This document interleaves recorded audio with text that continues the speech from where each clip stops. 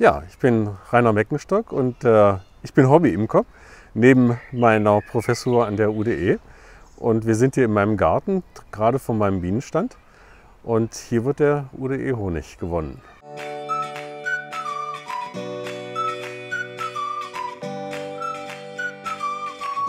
Also ich habe äh, Carnica-Bienen, ähm, was eigentlich so die gängige äh, Bienenrasse in äh, Deutschland ist.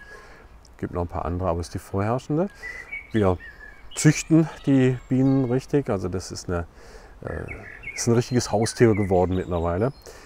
Ähm, und die Bienen leben unterschiedlich lange. Also jetzt im Winter haben die Bienen so ein halbes Jahr gelebt ungefähr.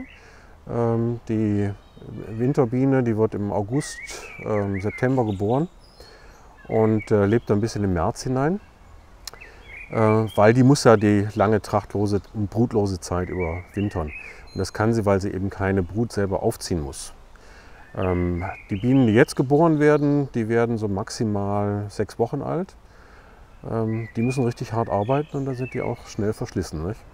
Ich habe das Glück gehabt, dass ich in einer Imkerfamilie aufgewachsen bin. Mein Vater war Imker und hat mir eben schon als als äh, Kind das nahegebracht und ich habe mit 16 angefangen, meine eigenen Bienen zu halten. Bin also schon sehr, sehr lange dabei. Ähm, insofern habe ich die Ausbildung von zu Hause bekommen und habe dann selber, als Wissenschaftler liest man viel, ne, äh, habe mir dann selber viel natürlich über äh, ähm, Bücher angeeignet und auch Kurse gemacht. Aber äh, heutzutage bieten eigentlich die meisten Imkervereine Kurse an. Wenn man jetzt Jungimker werden möchte, dann meldet man sich da zum Kurs an, kriegt ein Bienenvolk gestellt von dem Bienenverein und kriegt da ein Jahr lang Ausbildung und wird dann, ähm, bestenfalls kriegt man sogar noch einen, einen, äh, wie sagt man, einen Paten an die Seite gestellt, der einen dann immer mal wieder berät. Aber man ist im Imkerverein ja gut aufgehoben, kann Fragen stellen äh, und kann äh, sich da weiterentwickeln.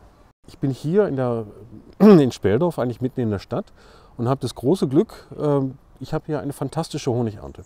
Weil in der Stadt ist die Natur noch in Ordnung, in dem Sinne, dass äh, hier blüht viel, das ist sehr abwechslungsreich. Es gibt viele Bäume, Linden, Akazien, äh, Ahorn, Kastanie und so weiter. Die Bienen finden eigentlich das ganze Jahr über äh, eine gute Nahrungsgrundlage.